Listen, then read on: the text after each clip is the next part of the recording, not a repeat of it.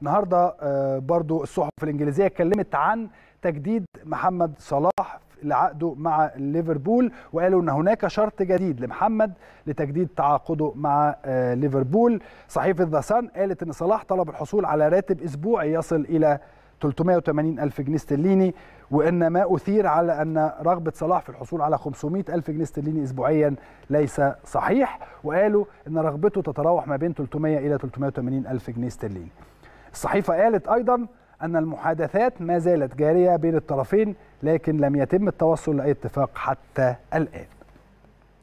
فيرجيل فان دايك هو أغلى لاعب في ليفربول بيصل راتبه الأسبوعي إلى 235 ألف جنيه استرليني. وقالت أيضا الصحيفة أن محمد صلاح لا يقل أهمية بل تزداد أهميته عن فيرجيل فان دايك. محمد صلاح دلوقتي بيحصل على راتب أسبوعي يبلغ 200 ألف جنيه استرليني.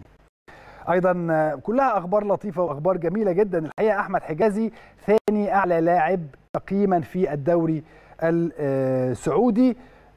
بعد مرور سبع جولات فقط ألف مبروك لحجازي عامل شغل رائع الحقيقة مع نادي الاتحاد السعودي في مباراته ديربي لنادي الاتحاد السعودي ضد أهلي جدة السعودي. اتلعبت المباراة أعتقد امبارح أو أول امبارح وفاز أو أحمد حجازي الحقيقة أحرز هدف رائع جدا جدا في هذه المباراة.